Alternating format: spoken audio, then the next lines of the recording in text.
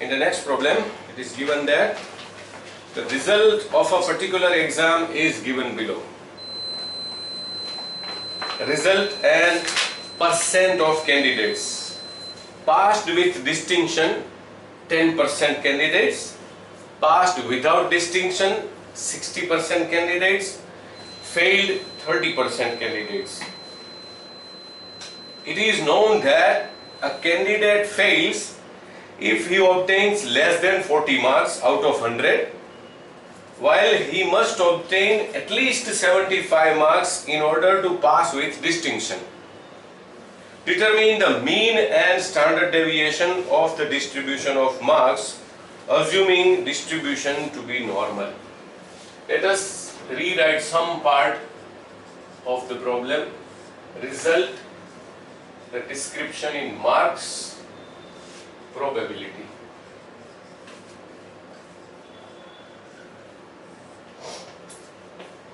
Passed with distinction.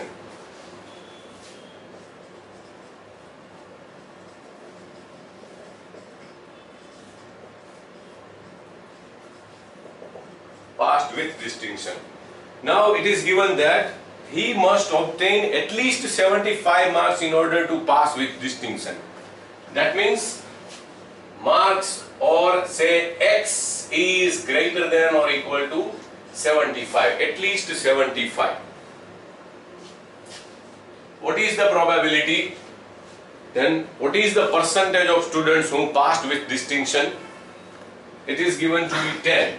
So probability is 10% or say 0.1. The second category is passed without distinction.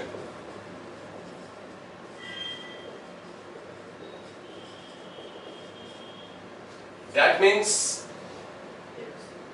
marks are more than 40 or rather 40 or more but less than 75. So 40 less than or equal to x less than 75. The probability or the percentage of students is 60%. That means probability of this is 60. and failed. That means marks are less than 40. Marks are less than 40. If the student obtains mark less than 40, then he fails in the examination. And 30% students failed, that means probability is 0.3. We are actually interested, say directly in these two cases. Because this is nothing, it is in between area. Let us draw the sketch diagram.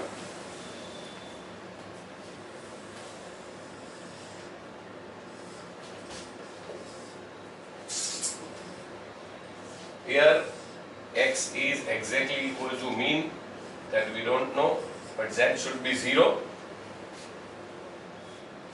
this 30% students failed or this 30% students scored score marks less than 40 sign is less than percentage is less than 50 or probability is less than 0.5 that means it should be on left hand side.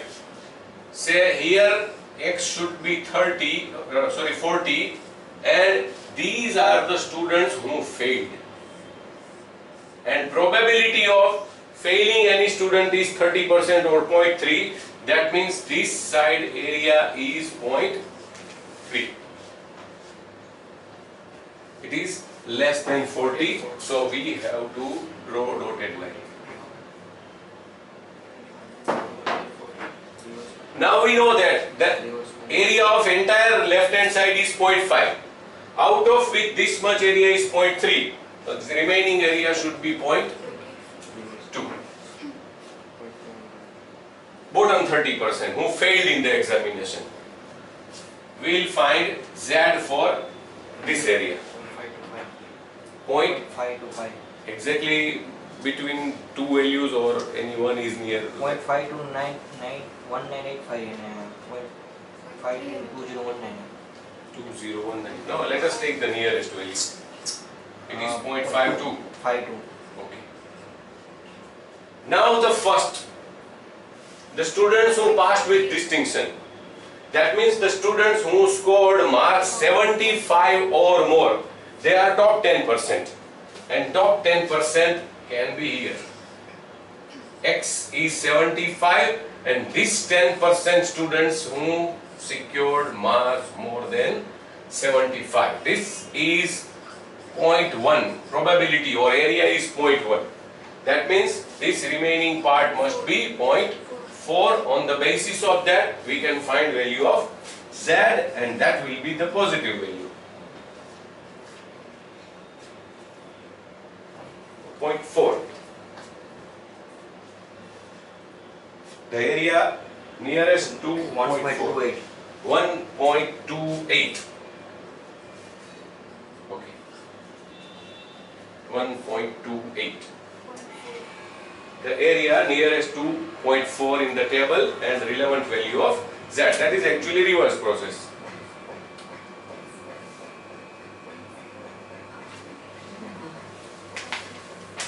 Now got this? Okay.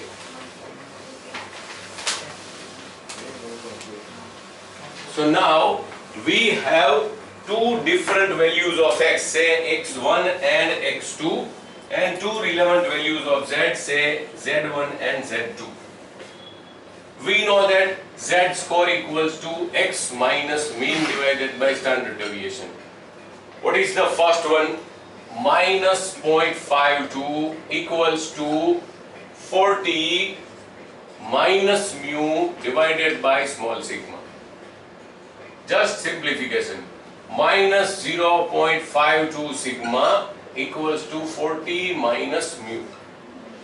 Yes. Therefore, mu minus 0.52 sigma equals to 4V, Let us give it number 1, equation number 1. On the basis of the right hand side area, 1.28 equals to 75 minus mu divided by small sigma.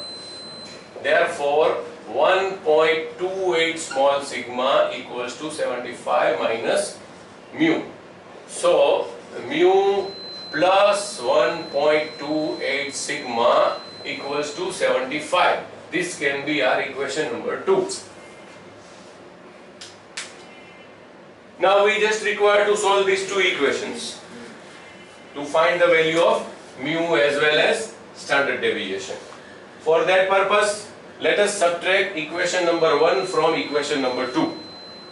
Mu plus 1.28 sigma equals to 75 mu minus 0.52 sigma equals to 40.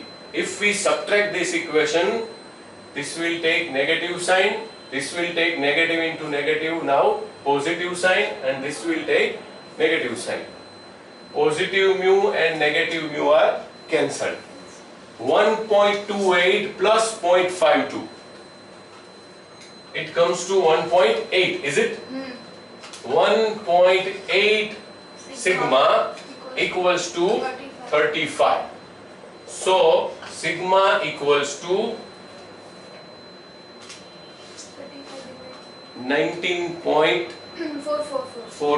Okay. 19.44 and that is nothing, this is standard deviation.